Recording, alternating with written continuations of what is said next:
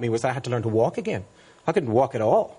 And then all of a sudden I managed to, it was like a film, you know, there I am with a Zimmer frame and, you know, the girls, oh, come on, Brian, you can do it, you can do it.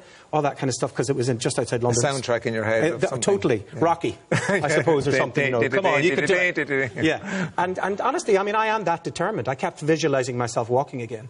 And then when I got back, um, yeah, it was, oh God, it was extraordinary. But, I mean, I suppose I just thought to myself, look, I'm not going to be taken down by this. I, I'm not going to survive the Falls Road to be taken down by a tumour in my arse. You know what I mean? It's just not going to happen.